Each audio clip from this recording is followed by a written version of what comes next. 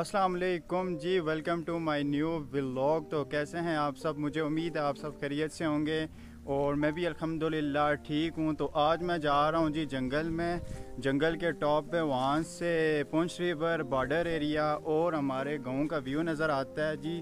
तो हमारे साथ मौजूद हैं इस टाइम जुनेद भाई। तो जुनेद भाई क्या हाल हैं आपके? अल्लाह का शुक्र है आप सुनाएँ। जी मैं भी आपके सामने ठीक ठाक हूँ। तो चलें फिर जंगल की तरफ़। पीछे ही चलना पड़ेगा। जी जी तो चलें, फिर हम चलते हैं जी जंगल की तरफ़। तो उससे पहले हम आपको गोले की कस्सी दिखाते हैं। फिर आगे टाइम हुआ तो हम जाएँगे ठंडा नाड़ा और ठंडा नाड़ा का ठंडा पानी पी के फिर हम चलेंगे जंगल की तरफ़।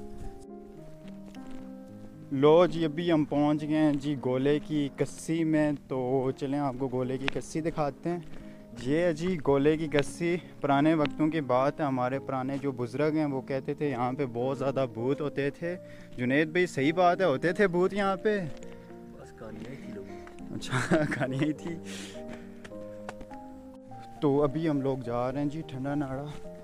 तो यहाँ पे है जी ठंडा नाड़ा ये देखें। तो अभी हम लोग पहुँच गए हैं जी ठंडा नाड़ा। जी जुनेद भाई अभी पानी पी रहे हैं। ये देखें जी, आप ठंडा नाड़ा के सामने व्यू तो जुनेद भाई, ये पकड़ें आप मोबाइल मेरी वीडियो बनाए, मैं भी पानी पी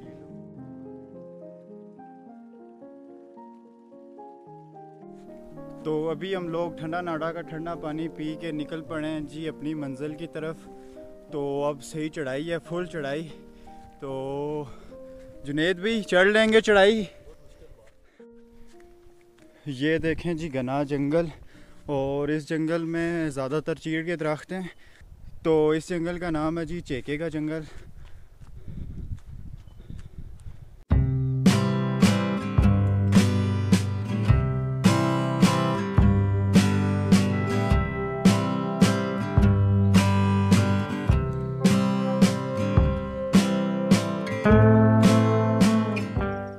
तो अभी शाम का टाइम है और मगरब होने में तकरीबन एक घंटा रहता है और अभी टॉप पे पहुँचने के लिए हमें कम से कम 30 से 35 मिनट और लग जाएँगे। ये नीचे से रोड गुज़र रही है और ये देखें जंगल और ये देखें जुनेद भाई, अभी हम लोग जंगल के दरमियान में भी नहीं पहुँचे और इनकी टांगों ने जवाब दे दिया। बहुत थक गए ये इस टाइम। तो अल्हम्दुलिल्लाह, अभी हम लोग पहुँच गए हैं जी जंगल के दरमियान में। और अभी यहाँ पे दो मिनट रेस्ट करते हैं। जुनेद भाई बहुत थक गए हैं इस टाइम तो दो मिनट रेस्ट करके फिर चलते हैं ऊपर की तरफ़। जुनेद भाई सिर्फ़ दो मिनट हैं, जल्दी आए बैठें और चलें फिर यहाँ से।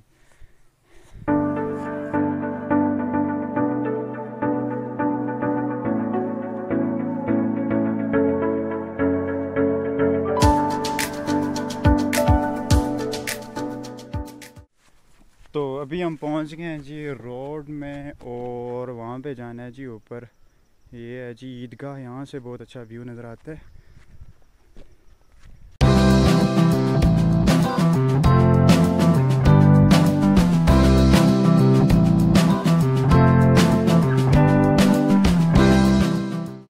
ये रही जी कोट गलियाँ की ईदगाह, यहाँ पे कोट वाले और गलियाँ के लोग ईद पढ़ते हैं।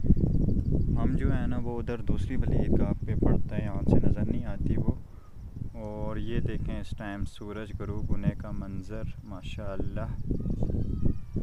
तो ये वो साइड है, जहाँ से पुंछ रिवर और बॉर्डर का एरिया नज़र आता है, लेकिन इस टाइम धुंध है। इस वजह से कुछ नहीं नज़र आ रहा। ओहो। तो ये देखें जी, हमारा गाँव, यहाँ से आप व्यू चेक करें। और यहाँ से ये देखें जी साली केयर हो गई और ये हो गया जी देसा पीर का पहाड़ ये इससे पीछे चार बिहार डन्ना वगैरह आता है।